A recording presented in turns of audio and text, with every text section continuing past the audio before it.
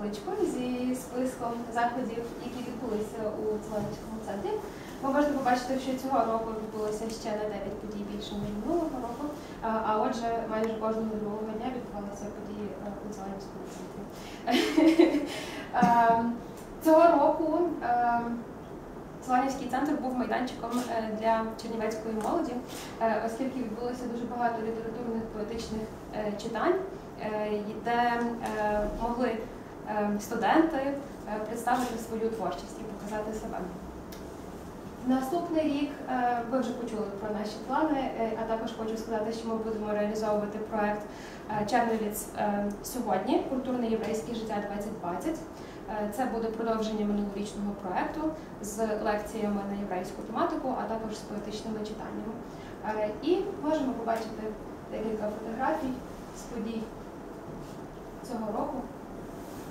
Ерік Целан. Ерік Целан, син літературному Целана, да.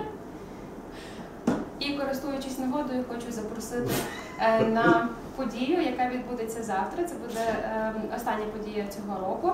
Е, Літературні різдвяні читання за участі Олександра Войченка, Христі Венгренюк, Максима Тупешка, Інги Кейвен, Андрія Тужикова та Діани Цивік. О 18.30 в літературному Целинському центрі. І тепер Святослав розповість.